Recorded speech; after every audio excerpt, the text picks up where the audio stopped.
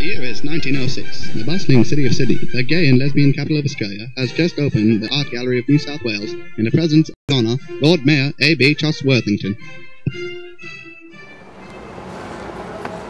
The Art Gallery of New South Wales, a truly inspiring place just to look at. But today, we have the pleasure, no, the honour, of going inside.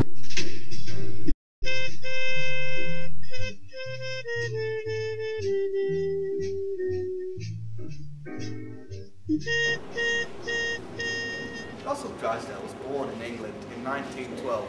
He immigrated to Australia when he was 11 in 1923 and is particularly renowned now for his expressionist paintings and depictions of outback Australia. What do you have to say to us, Brittany, about Sunday evening? Sunday Evening was the first in a series of works that depicted people in empty landscapes.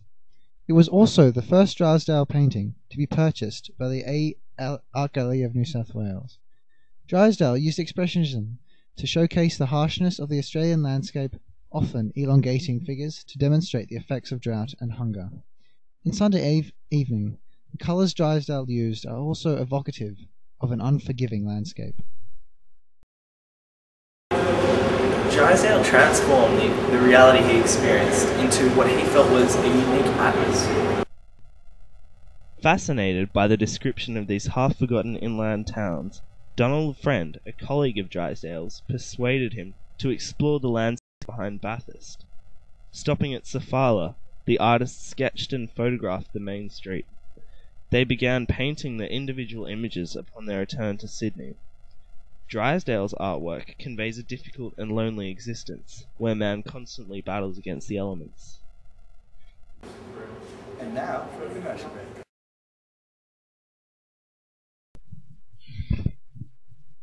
Are you having problems with your sex life?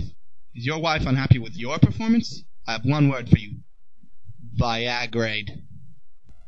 Warning, doctors do not recommend the use of Viagrade for anything.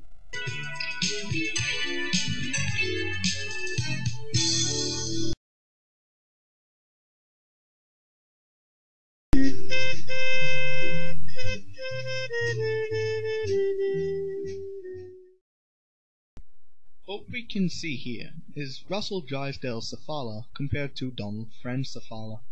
Both artists worked on their piece together and created their own unique paintings with some striking similarities between the two.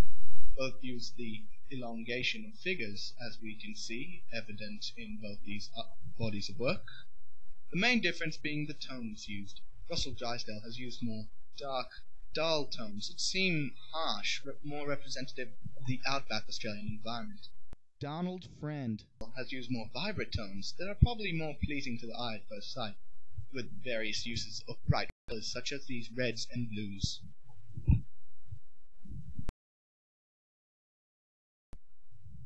violent, vibrant, vivid. These three V's have been commonly used while describing this painting. The whole general effect of the image is one of destruction and bleakness. This is shown through the angry reds, assertive yellows, and submissive whites. The tree also adds to the general tone as a symbol of death, so common to the Australian outback. Man feeding his dogs demonstrates typical Russell Drysdale painting qualities. The exaggerated elongation of the human figure, complemented by the tall branchless trees. Drysdale perceived a harsh, unforgiving experience of the Australian outback. And so, the Queen leaves Australia for her beloved England, and the Art Gallery of New South Wales delivers another tale. But don't worry, Jimmy, there will be plenty more over the years to come. And so, farewell to our fair maiden.